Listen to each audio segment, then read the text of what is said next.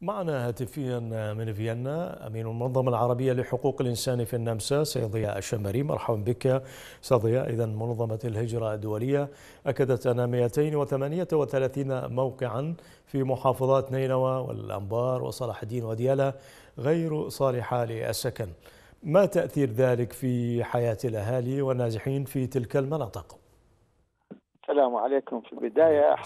نحن نعلم كل المهجرين الموجودين في هذه المناطق هي عوائل مهجرة وهذه العوائل نعم هي عندها أطفال وعندهم دراسة وعندهم وهذه العوائل المهجرة التي نزحوا من من من, من أماكنهم الغير صالحة للسكن لأنه لا توجد هناك أي مقومات للسكن في المناطق النازحين منها. وفي وفي الوقت الحاضر وفي المخيمات لا توجد المؤهلات الكاملة ولا دعم من الحكومة العراقية حتى تؤهل هذه الناس وعوائلهم من قيامة الدراسة والتعليم والمسائل الصحية وإلى آخره من مشاكل من المشاكل الاجتماعية التي تخص العائلة.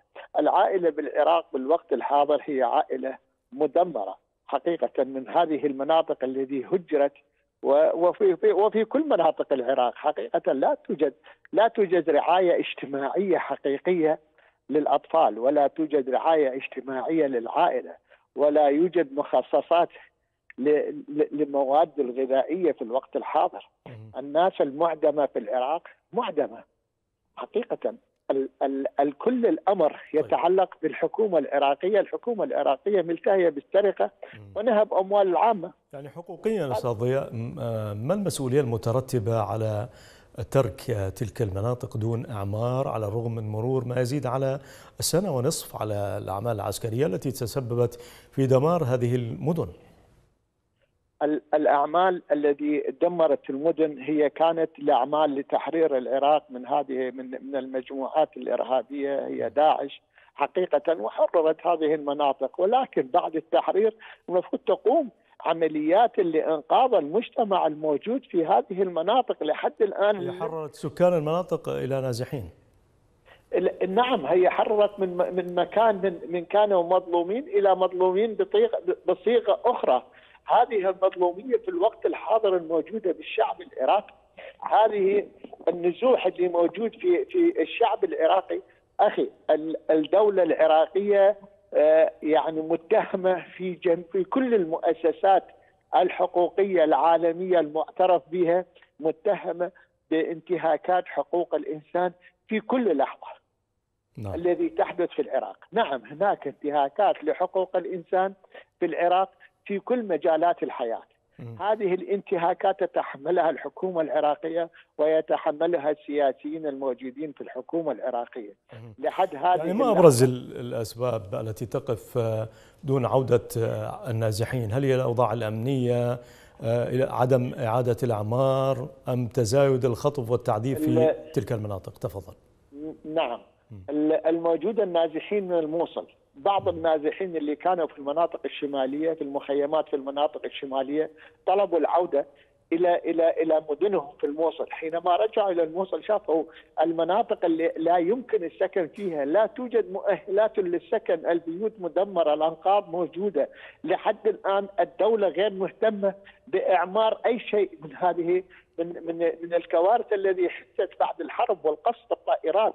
نعم. هذه الأعمال التدميرية ورجعت العوائل بالوقت الحاضر عادت العوائل إلى المناطق. يعني راحوا من, شيء مظلم إلى شيء أظلم.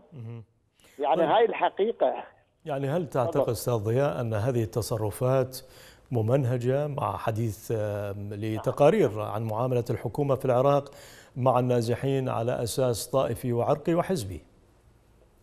هم هم هم يقولون نحن غير طائفين وهذا الكلام خاطئ وكلام باطل بالبداية.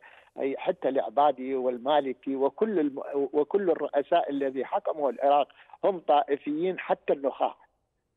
أنا قاعد أتكلم وأنا من المنطقة الجنوبية. لازم تعرف أخي أنت تعرفوني إن أنا من من أي منطقة في العراق؟ أنا من الديوانية. نعم. هذه المناطق هذول الناس اللي قاعد يحكموا العراق ذولا طائفيين منتقمين إلى العراقيين. هم كلهم كانوا خدم يشتغلوا عند عند الإيرانيين عند الفرس. ولحد الآن هم يتبعون السياسة الإيرانية. الإيرانيين أنا ما أقصد الشعب الإيراني وإنما الإيرانيين كسلطة كحكومة كرجال معممين موجودين كولاية فقيه. هم يكرهون العرب ويكرهون العراقيين بالدرجة الأولى. ولهذا السبب يردون النزيف الدم والدمار نعم. بالعراق. يستمر. هذه كل ما قاعد يعملوا يعملوا يعملوا حتى تنكيلا بعروبة العراق وتنكيلا بما يقوم به العراق بالوقت الحاضر ونحن نعرف العراق له ثقل قوي في المنطقة وثقل قوي حتى بالوطن العربي. العراق من الدول المهمة في الوطن العربي. نعم، بالوقت الحاضر العراق هو مريض وهذول السياسيين الموجودين بالعراق هم الذي دمروا العراق. شكرا جزيلا كما من أمين المنظمة العربية لحقوق الإنسان. في النمسا سيد ضياء الشمري